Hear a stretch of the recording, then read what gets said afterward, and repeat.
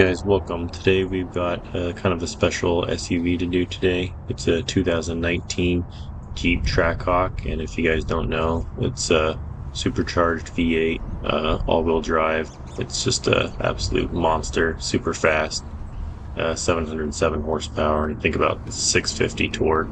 It's got massive Brembo brakes on it, um, ceramic brakes, and uh, this thing is just an absolute beast. Um, I haven't ridden in this one personally, but I've seen plenty of videos and they just take off like a bat out of heck. So anyway, we're going to be doing an inside and out detail on this, um, cleaning the inside of the wheel barrels and the brake calipers, uh, doing an engine bay um, clean as well on this, and then uh, yeah, just getting everything tidied up and getting uh, all the dirt and stuff out of here. Uh, it's not too bad on the inside. The front's a little bit worse than the back, but um, overall it's not bad. Uh, so it shouldn't take too long.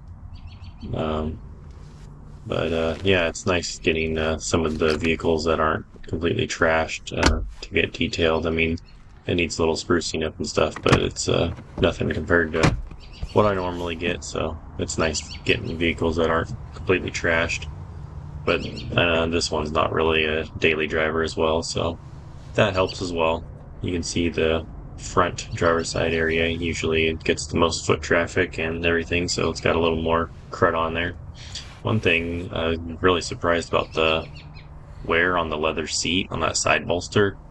Um, it's really kind of fraying apart and it felt really thin, so that was a little concerning to me about kind of the quality of that leather seat. But uh, you can see this sweet uh, supercharged V8 here. We're going to be pressure washing the loose dirt and debris, and then we'll be scrubbing it here with the our wheel woolly brush. It's ultra soft. It's uh, safe on paint and everything, so no worries there.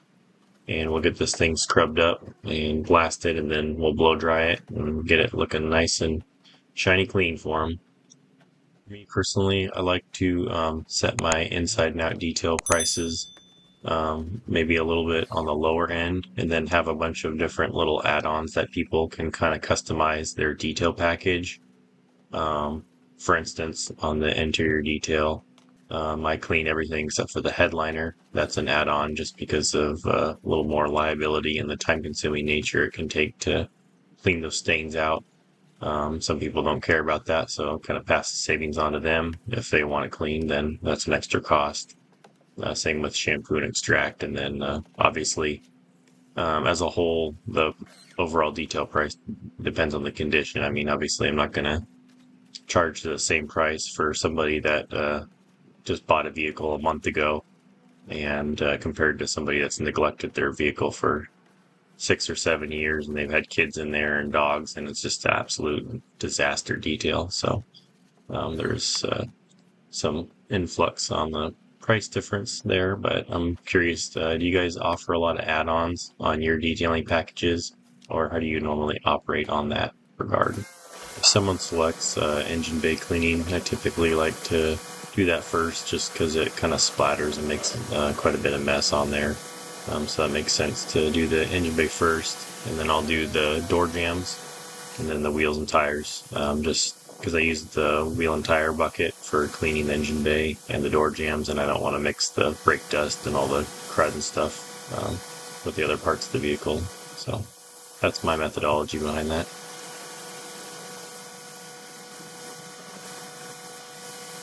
Uh, vehicles in the engine bay where I ended up using some sort of um, shine on the plastics and the rubber parts of the engine bay. I like to use CarPro Perl uh, diluted five to one, and that gives kind of a nice satin finish. Uh, kind of rejuvenates the rubber and the plastics in the engine bay, and it makes it just give it a kind of a nice pop and makes it look better. What do you guys like to use for um, engine bay plastic restore? These door jambs were pretty clean to start with, but um, I always like to give them a nice little pressure wash just to blast any loose uh, dirt and crud away. And uh, then I'll hit them up with the wheel and tire brush and get them scrubbed clean, uh, just so I'm not dragging a bunch of grit and stuff and possibly scratching the door jambs um, with the kind of built up dust and dirt and stuff. Um, And then the wheels and tires uh, inside the fender liners had some mud splattered and stuff, so I'm just doing a pre-rinse, getting that knocked off as much as possible. And then we'll get the wheels and tires, just a light rinse on there. And then I'll be using my DIY um, detail all clean diluted 15 to 1, which is just the standard dilution ratio for exteriors. And um, I'm using my IK foamer. Uh, I need to haven't pumped it up enough, so it's kind of petering out. But um, yeah, I, I, like using that. It foams up, and it kind of just have this nice little bubble bursts of uh, new all clean to kind of help break down that brake dust and the road grime and stuff on there. So you can tell uh, the ceramic brakes they put off a lot of brake dust. There's a lot of uh, gunk and stuff coming off the wheels, so it's important to keep uh, ceramic uh, brake wheels and tires nice and clean, or you're going to have uh, real stubborn junk on there that's hard to get uh, cleaned off. As you can tell, I'm using whatever wheel and tire brush is working well in conjunction. Um, just different tools to get into the nooks and crannies. Um, with these massive rotors and stuff, it's hard to kind of get into all the little areas with just one or two different tools. So I use uh, detail brushes, different wheel and tire cleaning uh, brushes, and uh, they all work well in conjunction with each other. Get get everything as clean as I can.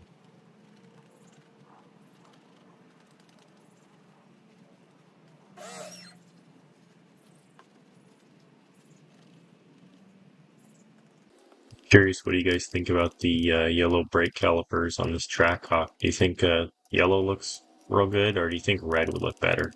I personally think uh, maybe red would be a little, a little better. Just looks a little more racy. But uh, curious, what do you guys think? And write it in the comments below.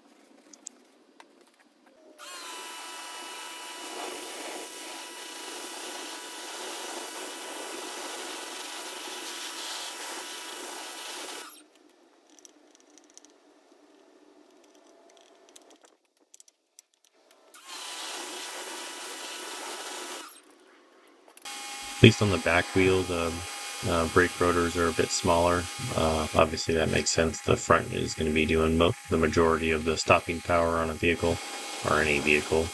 And uh, so I've got a lot better clearance to get my wheel and tire brushes in there to scrub the entire uh, wheel barrel from the outside area. So that makes it nicer, being able to access everything a lot easier. Um, so as you can tell, this thing needed uh, a good scrub down too. You can see the soap dripping off the bottom. It's just, it's, it's pretty nasty. I mean, it's not pure black, but it definitely needs uh, a good scrub.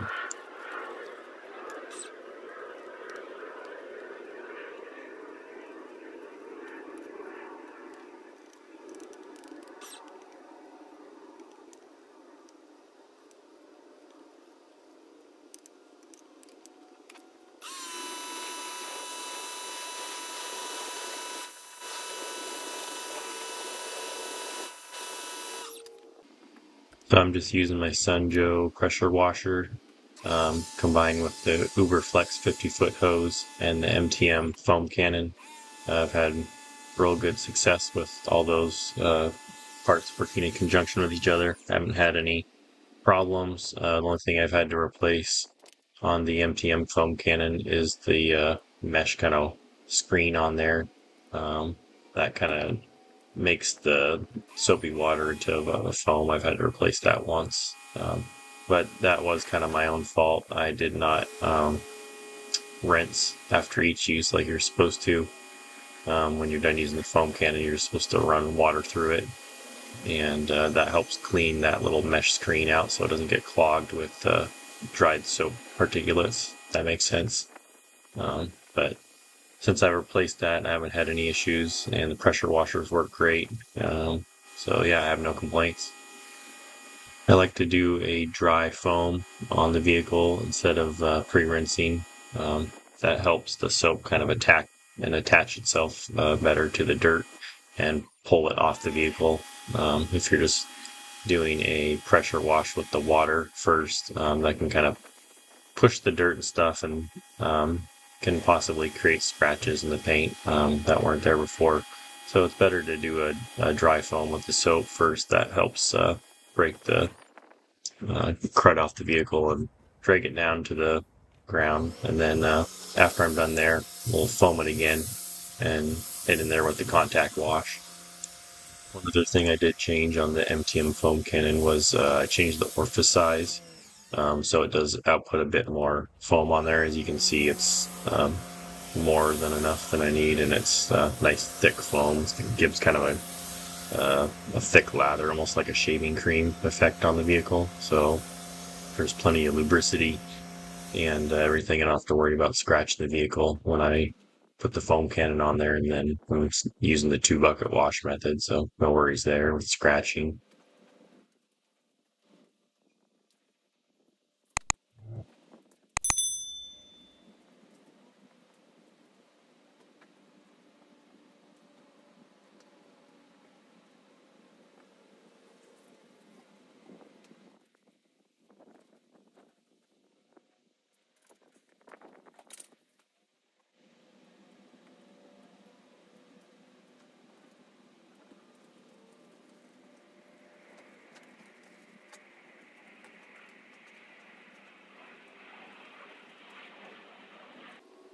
You might be wondering why am I foam canning, foam using the foam cannon again after I just washed it. Uh, I'm just putting a fresh layer of uh, foam on there for my uh, clay bar process. I'm using that perforated, perforated synthetic decontamination towel, uh, fine grade from uh, Rag Company, and uh, I just want to have plenty of lubrication on there and no issues when I'm using the uh, clay towel on there to uh, get any bonded contaminants. This thing was um, fairly clean, um, but I'm just going to go through the whole vehicle and just make sure everything is good before I rinse off and then put on my uh, DIY detail ceramic gloss and uh, dry off the vehicle after that. So this is a $70,000 ish uh, vehicle, so it's uh, nothing to laugh at, but I try to um, treat all my detail vehicles the same.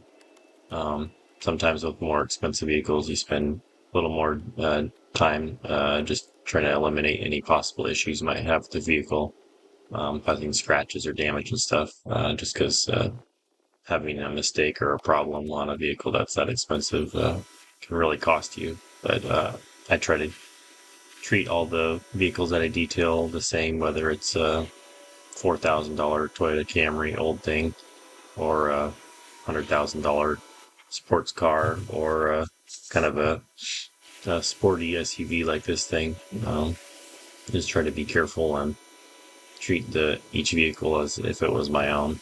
Um, and yeah, it's just kind of the way I do business.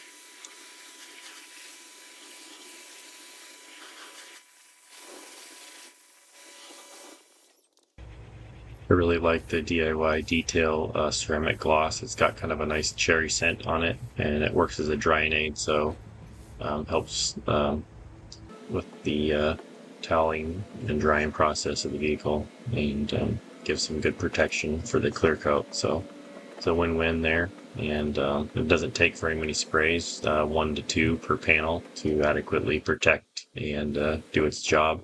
So um, the 16 ounce bottle lasts a real long time. Same thing with the perforated um, synthetic decontamination, the clay towel.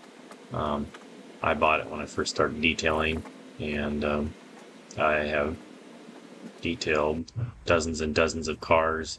Uh, the clay towel is just starting to break down a little bit, but um, it's still fine, and I've used it on tons of vehicles. So uh, there's a great value for money um, with the perforated synthetic decontamination towel. It lasts for a long time, even though they're, I think, 35 or 40 bucks now. Um, they'll last for so many vehicles that the value is really there.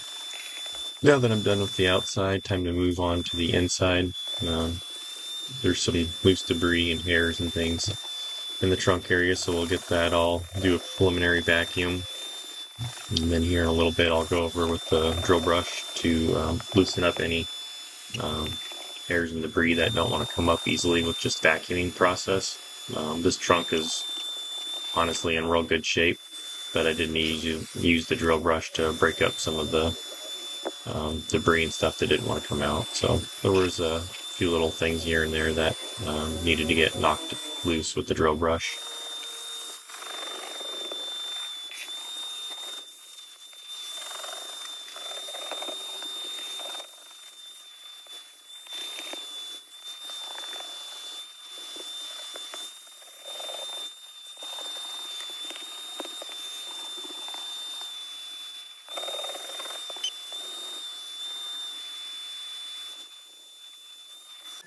As you can tell, the uh, back passenger area, the flooring and the seats were not in bad condition at all, so didn't take very long at all for me to get vacuumed and cleaned up appropriately.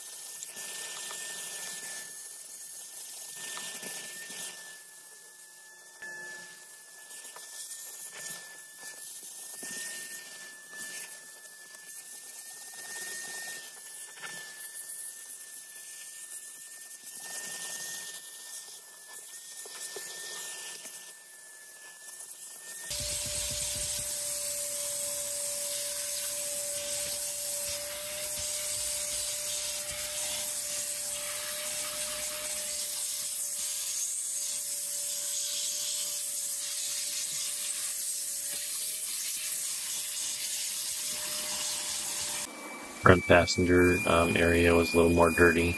Um, just has more foot traffic and more people sitting in it. Um, but overall, wasn't too bad.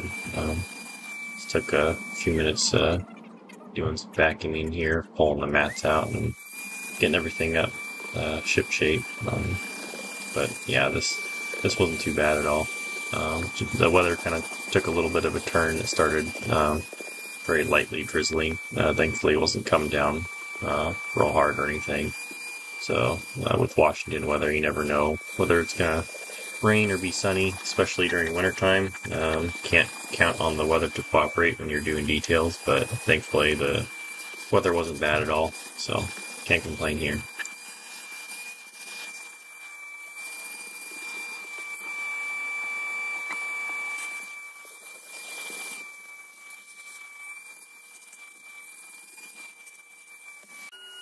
When I'm doing details, I prefer the um, front seats to be manual just because it's a lot easier to um, zip the seats back and forth, slide them around as you need to make sure that you get underneath the seats and um, the carpeting and everything is um, clean as you can. Uh, with the power seats, it just takes a little bit longer. So that's one thing that I kind of prefer to have a manual. Now, um, people that actually own the vehicle, I'm sure they most of them prefer power just because uh, it's just one thing that's easier. But uh, driver side area was a little dirty. Um, mostly on the floor was where most of the dirt and stuff was. The um, driver's seat wasn't real bad at all. Um, besides some of the breakdown on the leather side bolster, uh, where you're getting in and out of the vehicle, that was degrading pretty badly. But um, that's not. Uh, that's more of a manufacturing and quality concern along with um, how you're getting in and out of the vehicle. You can break that uh, side bolster down fairly quickly if you're not careful. So, um, yeah, this uh, wasn't too bad. There wasn't too much ground in um, stuff into the carpet, so I was thankful for that. And these um, carpets were pretty easy to vacuum stuff out of, so uh, no complaints there really.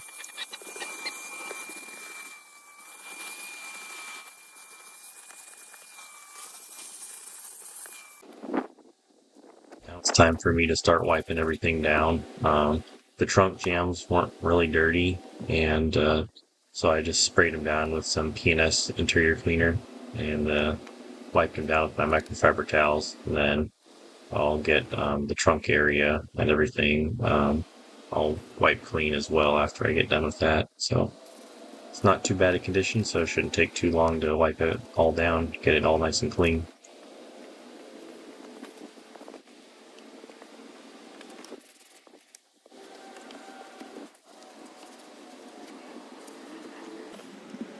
Rear trunk um, side trim panels weren't too bad at all, but um, we're just giving everything a quick wipe down, making sure everything is clean as much as we can get it clean, and uh, we'll move on to the next area.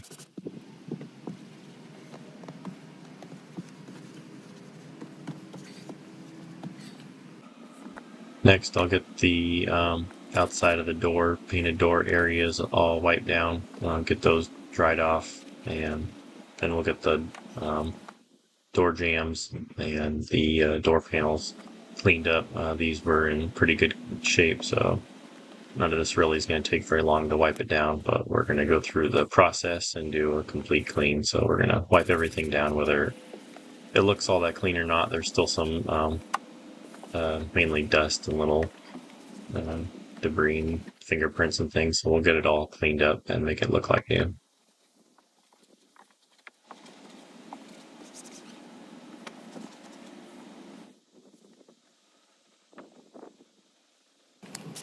I just want to shout out to um, all my subscribers. Um, I just passed 450 subscribers recently, so I just want to thank you guys for your support. Um, if you're not already subscribed, please consider subscribing.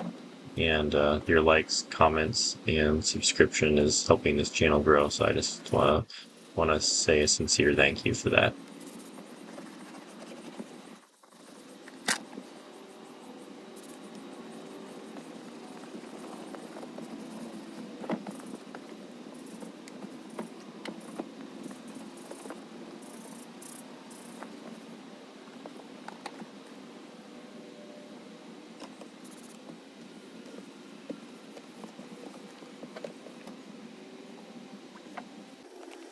Even the driver's um, door panel area was um, pretty clean, but uh, we'll just give everything a good wipe down and get this thing looking real nice.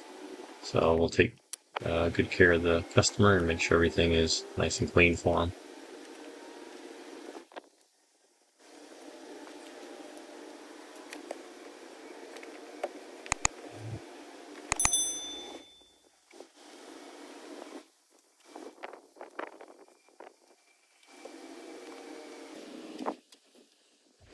What do you guys think about um, piano black trim on the exterior or interior of your vehicle? Personally, um, I don't really care for it. It's too easily scratched and it's um, hard to maintain that um, scratch-free, glossy, shiny appearance. Um, especially if it's on like the lower side skirts or the um, outside of the door. those really get scratched up, but even on the inside, it's hard to keep things not from getting scratched. Um, I personally think it's kind of a waste, but I'm curious what do you guys think about that piano black trim or uh, paint on vehicles, um, regardless, inside or outside.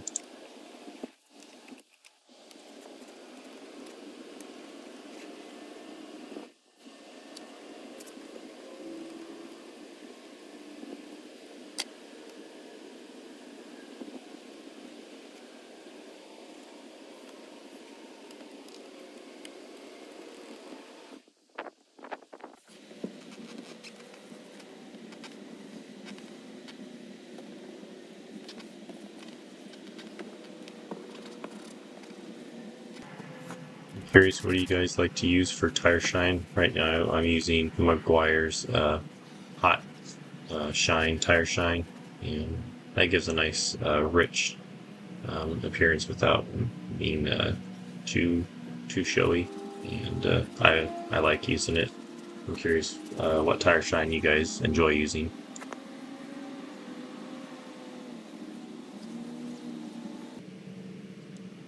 Here I'm finishing off the leather seats with the leather conditioner uh, by Koch-Chemie uh, Leather Star, and uh, that'll help kind of rejuvenate and protect some of the leather and keep it kind of soft and supple, keep it from drying out. So we'll do that to the rear and the front seats and get that thing uh, protected and cleaned up how it should be.